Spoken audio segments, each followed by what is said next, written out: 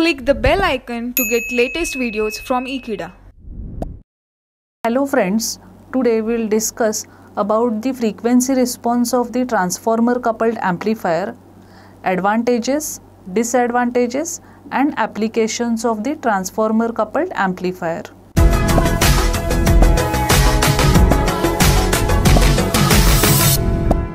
Now this is the diagram of frequency response of transformer coupled amplifier. As we can see, it is divided into three regions. Low frequency region, mid frequency region and high frequency region. At low frequency region, the voltage gain reduces as well as at high frequency region, the voltage gain reduces. In the mid frequency region, the voltage gain is constant but at one particular frequency that is f0 we will get the maximum voltage gain and then the voltage gain after that rolls off. We will discuss about the reason behind decrease in the voltage gain at low frequency as well as at high frequency. At low frequency the voltage gain decreases because the output voltage is taken across the primary winding which is calculated as the product of collector current and the inductive reactance. Inductive reactance is given as XL is equal to 2 pi FL.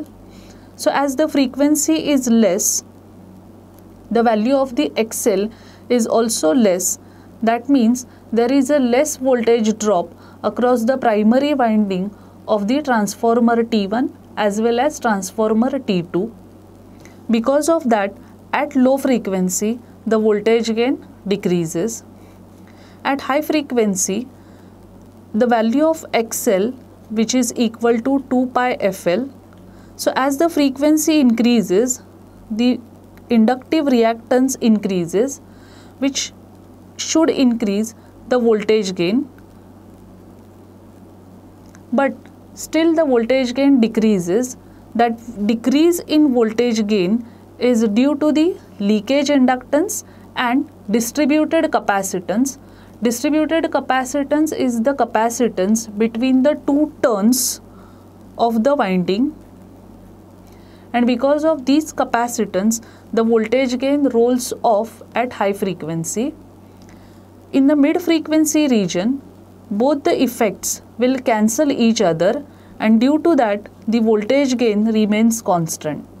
But at one particular frequency when inductive reactance and distributed capacitance becomes equal and because of that the resonance occurs at that frequency which provides the higher voltage gain at frequency F0. The advantages of transformer coupled amplifier.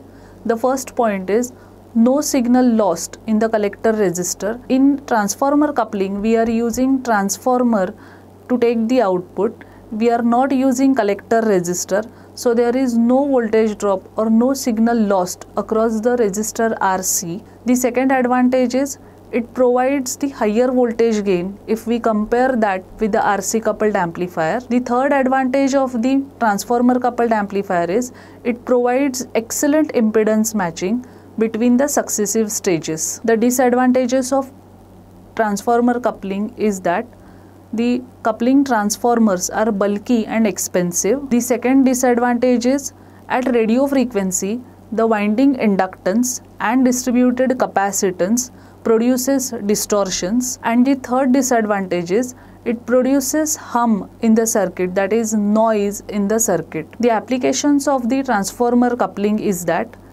it is used for impedance matching then it is used in power amplifier and the third point is it is used in applications where the maximum power transfer is required. Thank you friends for watching this video. Stay tuned with Ekeeda and subscribe to Ekeeda.